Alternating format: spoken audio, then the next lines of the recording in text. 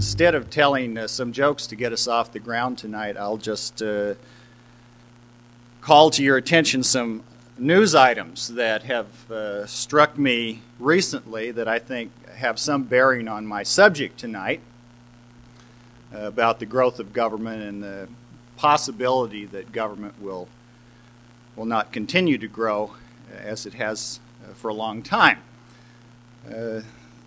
The first one is from an editorial uh, in the Washington Post uh, called The Roosevelt Legacy. Actually, this uh, Washington Post reminds me of, uh, of a story that uh, I was uh, told one time about the, the CIA having discovered that um, an enormous meteor was going to strike the Earth in only a week. And of course, because it was the CIA, uh, they were unable to keep this to themselves, and it was leaked. And so the press got hold of it, and uh, uh, the next morning, the column one uh, Wall Street Journal story, in the usual uh, uh, size type, said Giant meteor will destroy Earth in one week, Dow falls 200 points. And uh, that day, that USA Today uh, said, uh, giant meteor will destroy Earth in one week. Uh, how we feel about it. And then it had a full color pie chart. and the Washington Post uh, reported uh, giant meteor will strike Earth and destroy it in one week. Women and minorities will suffer most. so that tells you something about the source. Uh, of course, you all know about the source anyhow. You're here in the belly of the beast, almost. Uh, in uh, this editorial on the Roosevelt legacy, uh, the editorialists observe Roosevelt was truly convinced that government could do good, and he made it so. It is a sign of his achievement that so many of his policy monuments, Social Security, the Securities and Exchange Commission, wages and hours laws, are virtually unassailable. And further on, it says uh, it is, of course, common now to declare the New Deal dead the Roosevelt legacy a thing of the past. And it is true that even the most ardent of the surviving New Dealers would concede that many of the programs created for the 1930s are not appropriate for the 1990s. But the Roosevelt legacy is precisely not a fixed body of doctrine. Roosevelt himself was the first to reject the dogmatic application of anyone's theories, uh, including his own. The country needs, uh, now we're quoting Roosevelt, the country needs, and unless I mistake its temper, the country demands bold, persistent experimentation, he once declared. It is common sense to take a method and try it. If it fails, admit it frankly and try another. But above all, try something. End quote. It is not a bad approach to government for his time or ours, says the Post. I have another uh, news item here from uh, the Post, as translated by the International Herald Tribune, reporting a poll according to the results of a national poll uh, eh, released, uh, must have been shortly before April the 20th. This is dated. It says uh, Few Americans think that cutting federal programs will improve government performance, the poll indicated. The bureaucrats, not the problems, were not, excuse me, not the programs, were seen as government's greatest impediment.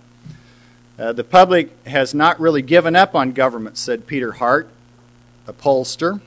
When you give them a choice, they will tell you that we need better management, not necessarily smaller government. or giving all the responsibility to the states. The poll also showed support for the Democrats' view that government can help if properly applied. And one more item here, also from a poll, Washington Post ABC News poll. This uh, comes on May the 18th, so it's fairly recent.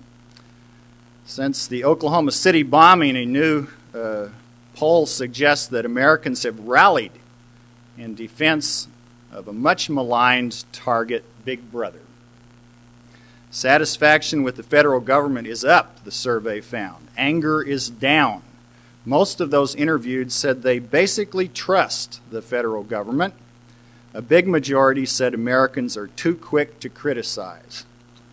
In other ways, the survey suggests that Americans are re examining just how angry they are with their national government after seeing the tragic consequences of real rage in Oklahoma City. At the same time, the survey found narrow but deep pockets of rage and suspicion.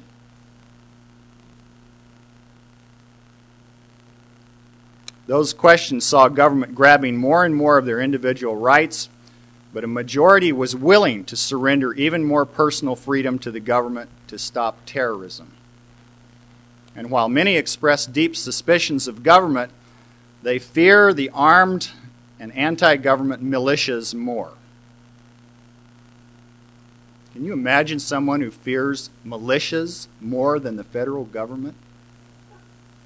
Most of these people had never heard of militias four weeks ago. Overwhelming majorities of those interviewed, including those critical of government, said private militias represent a bigger threat to their personal rights and freedoms than the federal government does.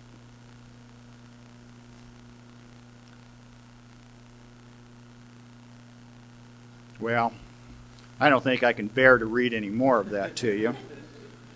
But I read these things uh, partly because perhaps you uh, tend to hang out, as I do, with people of somewhat like mind. And I think uh, in doing so, we can sometimes get a very distorted impression of what is typical of the beliefs of uh, our countrymen. Uh, very distorted. Uh, I, am not a great believer in polls. Uh, I realize they can be uh, rigged, twisted, distorted, misinterpreted, and, and so forth.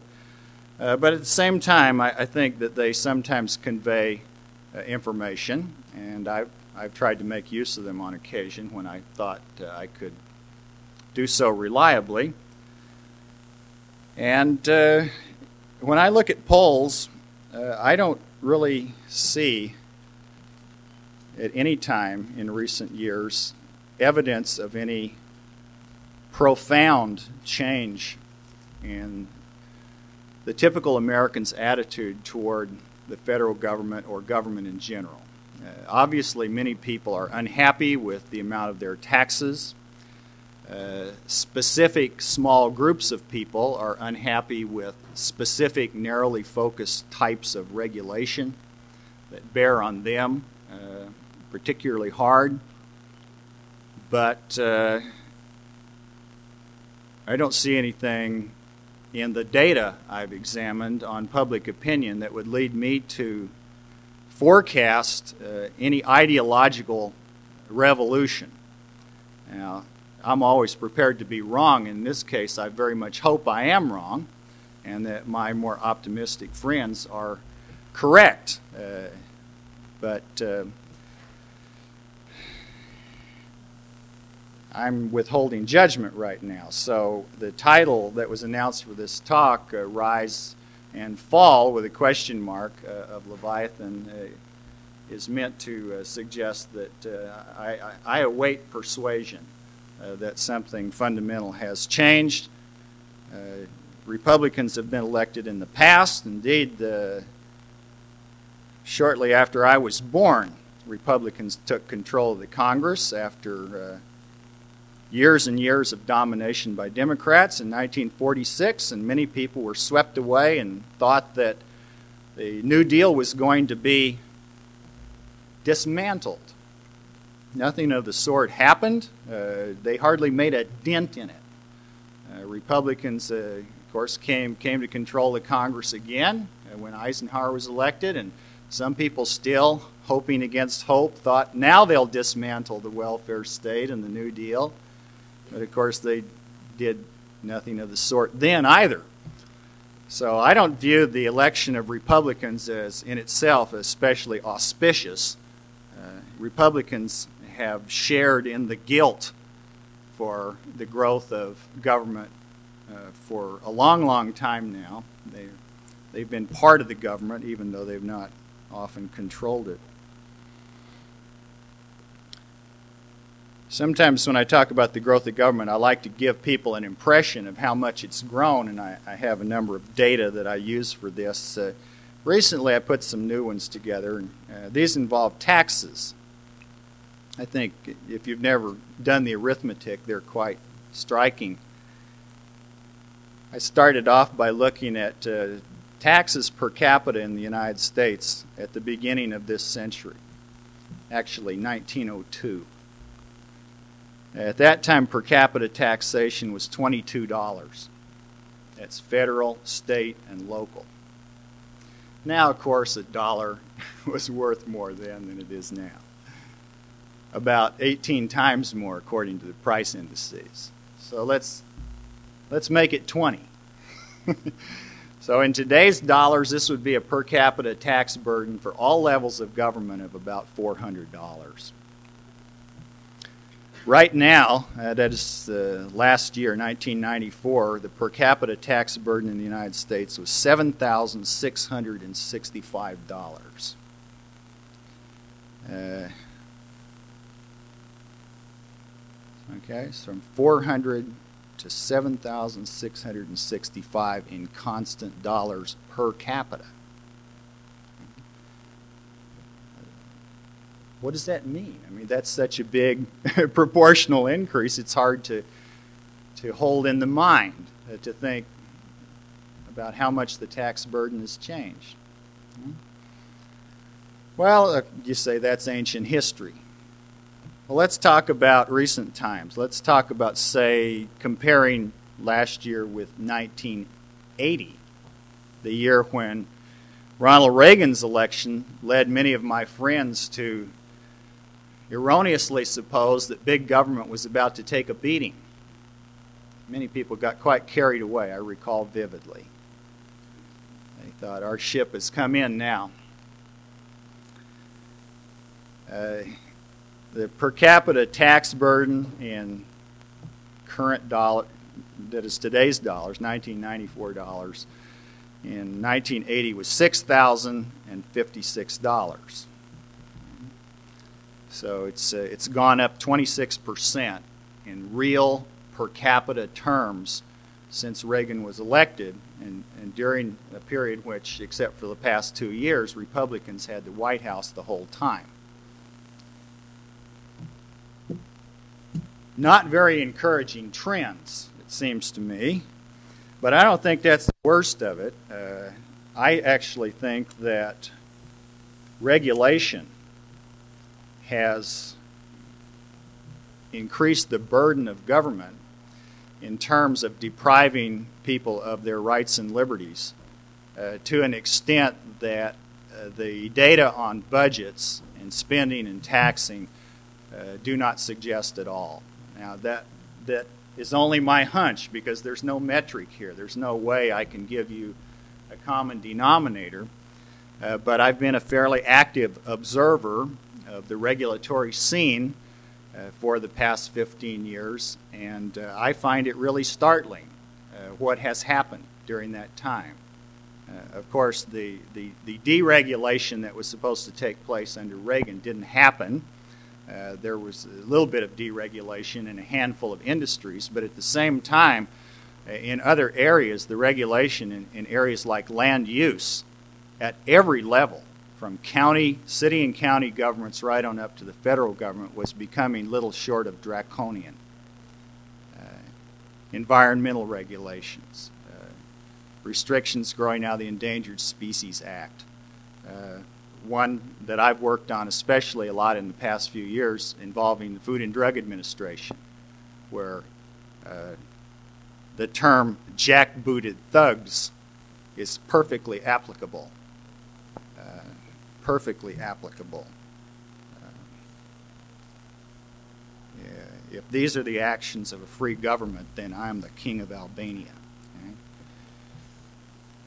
Well, I don't want to just uh, whine while I'm here. Uh, let me try to give you a little different perspective on whether we can reasonably expect uh, the growth of government to be reined in, slowed down at least, uh, in the next few years, uh, even though it has continued to grow quite rapidly up to today. And if you don't think up till today, then go get your latest issue of the Federal Register and see what's been put in there in the past week. You'll find it's bulking up at at least the same rate it has been for a long time. Uh, I, I think uh, if one has a decent theory of why government has grown in the past, then that theory ought to also be useful in making some forecasts about the future. That doesn't mean that it allows me to be a fortune teller, because uh, history is full of what economists call exogenous shocks, uh, things that aren't part of the system that's internally determinate. Uh, so we may have uh, plenty of uh, exogenous shocks uh, in the future, just as we have in the past, and so no one can predict in the social sciences the way uh, prediction can be done in physics or chemistry. And I certainly don't pretend to uh, be a predictor in that sense, but at the same time, if our explanations of past events are any good at all, they should help to guide us in forming expectations about the future. Now, as Bumper mentioned, I, I, have done a fair amount of research and written a book on the growth of American government from the late 19th century up to the mid 1980s. And uh, so, what I'd like to do is just recall or summarize quite briefly some of the main themes of that book. Uh, how I accounted for the government's growth during that time. If, if those themes are, are really productive of insight, then they should give us some clues or guides as to what to look for if government's going to, uh, to change its course in future. Uh, one of the things that uh, are somewhat regretted about my book's uh, reception by the public was that uh, it was understood by many people as espousing the crisis hypothesis, and in a way that's a forgivable error if you read only the title. Uh, but I, I, was at some pains in the book to emphasize that it was not a monocausal explanation and to concede that there are a variety of explanatory variables that uh, make some sense in accounting for the growth of government over that century. Uh, some of these uh, you can wrap up in, uh, in the economist notion of government responding to so called market failures. In fact, in mainstream economics, this is about all the theory of the growth of government uh, there is. And uh, government is viewed as uh, this kind of automaton uh, that simply automatically responds uh, to take whatever actions are required to correct market failures arising from negative external uh, effects from uh, demand for public goods, which the market isn't supplying, from monopoly powers being exerted in an unregulated market, and so on and so on. Uh, I won't say much about these because I, I have never been persuaded that they're very important in actually understanding why government grew. They're more like rationales or apologies uh, ex post for various government activities, but when I add them all up, they don't have much weight in the overall level of what government has been doing and doing more and more often in the past century. There are some, some kinds of government actions, like, say, what the EPA does, that can be plausibly connected with attempts to, to combat uh, negative external effects. Uh, there are some quasi public goods that the government supplies, and one might halfway plausibly argue that the market wouldn't have supplied them. Uh, but I don't think all of that's worth pausing too long over. In my book, I spend more time on it, but it's not important enough to belong to a summary.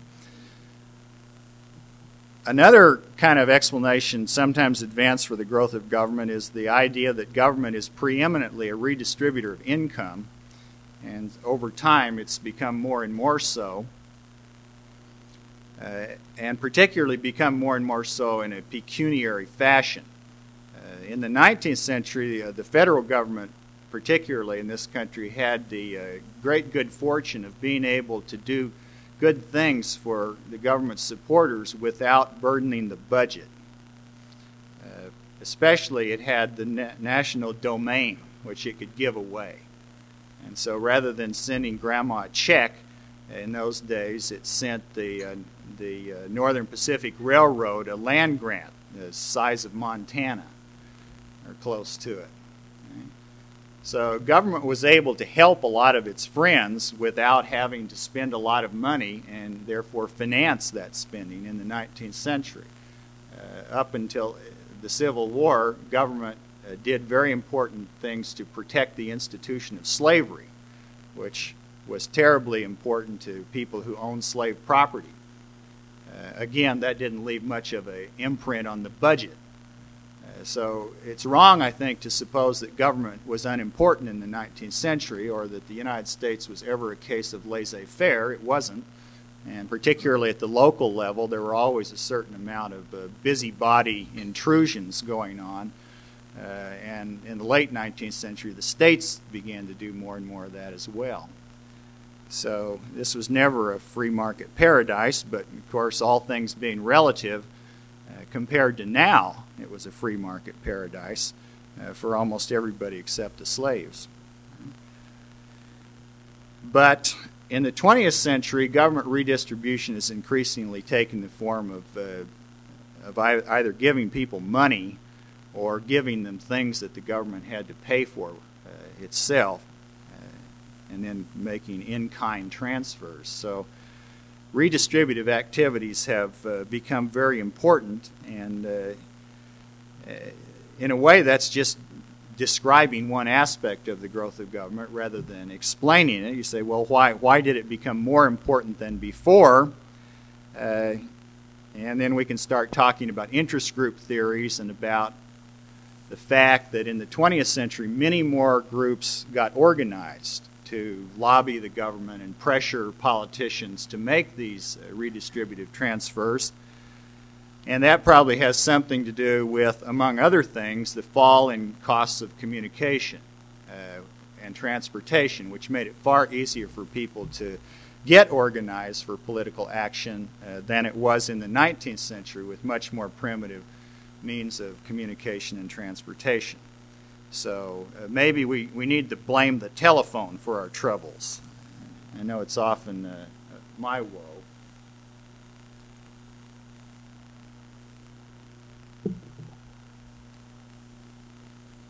Connected with the increased level of redistributive activity uh, in the 20th century has been uh, an ideological change.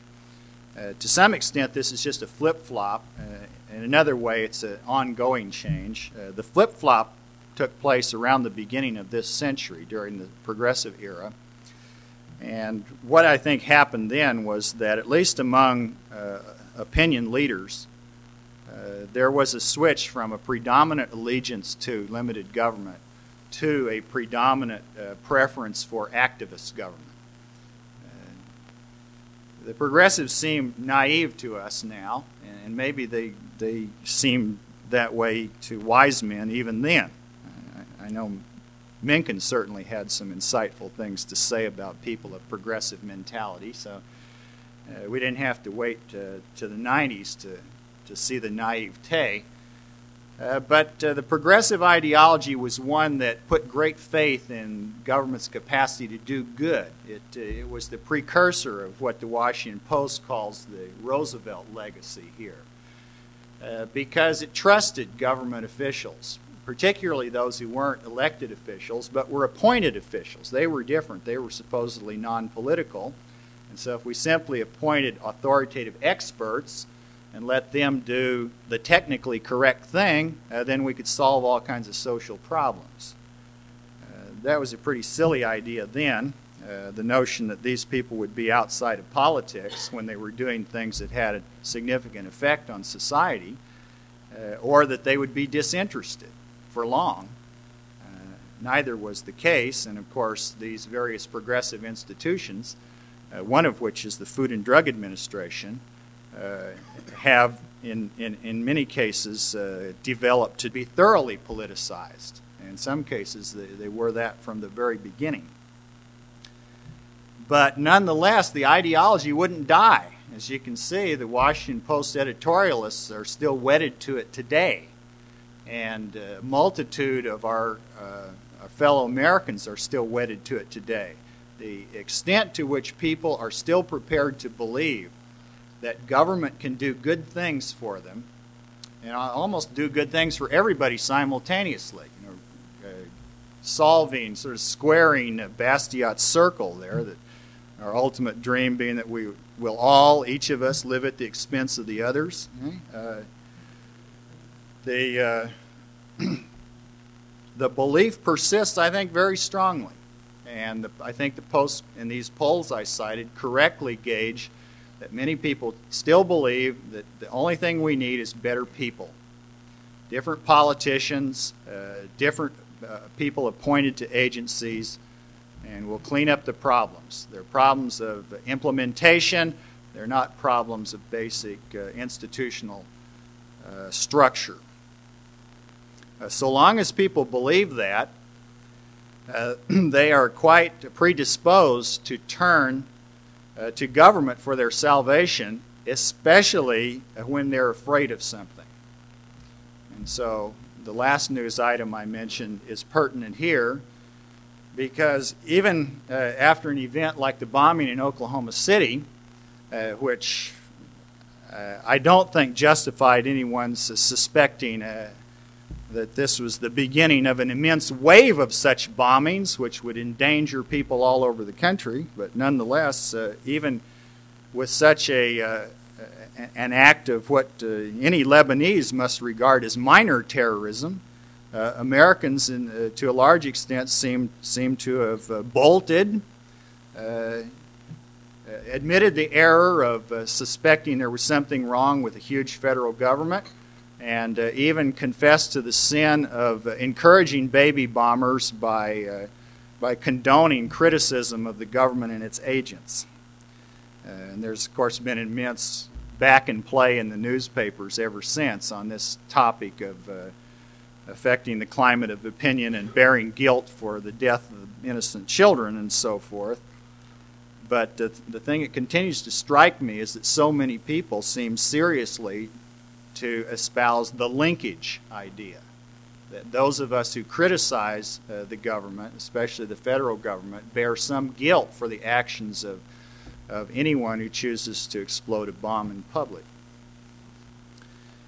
Uh, well, my own view is a kind of combination. I think government grew partly uh, because of the organization of interest groups to redistribute income that was connected to some extent with the adoption of progressive uh, ideology and its uh, reinforcement as a result of the Great Depression and the, uh, the, World Wars, which encouraged many people, particularly in World War II, to think of the federal government as a very capable uh, set of actors.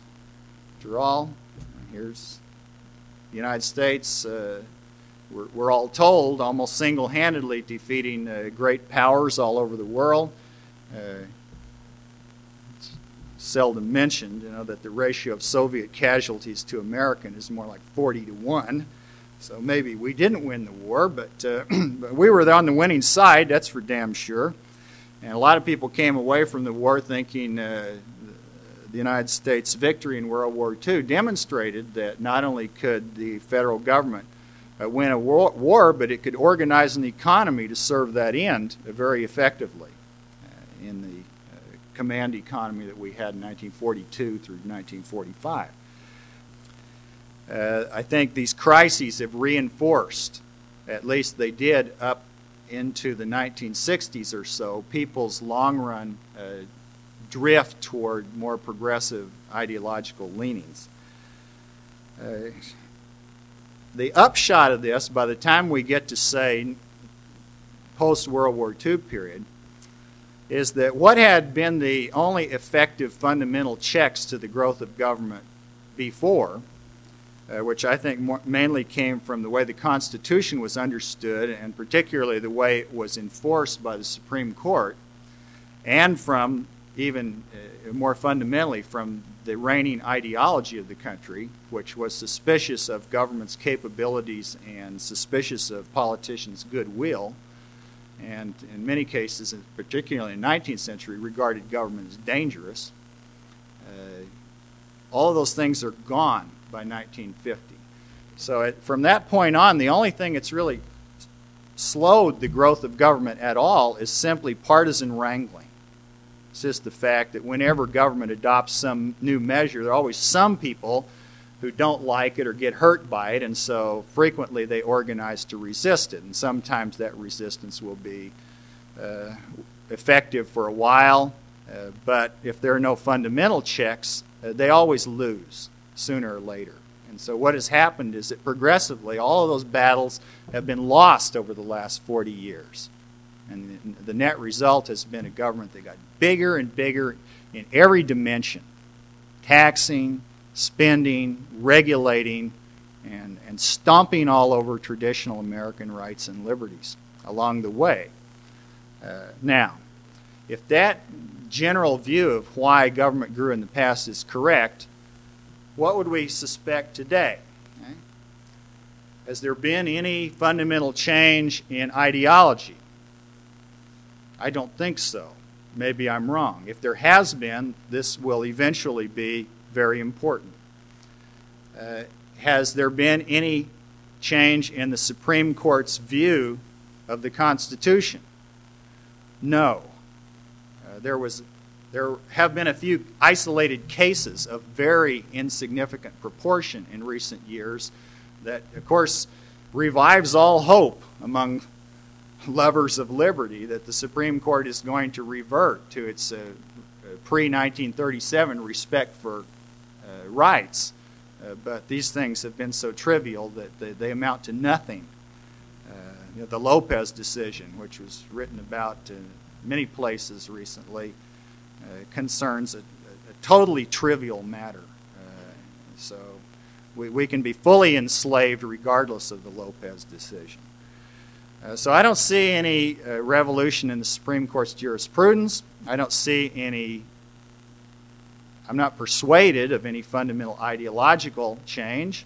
I don't see any change in our, our basic political institutions, uh, the way we make uh, laws in Congress and, the provisions of our, our Constitution uh, for holding elections or setting agendas or whatnot. Uh, I just don't see any reason to expect anything but more of the same right now. And, I would love to be proven wrong by events, especially by events more than by any of you. But uh, I think I've said enough to perhaps uh, irritate you. And I, so I'll stop talking here, and if, uh, if you'd like to pose a question to me or the rest of the people, uh, I think we've got time for that.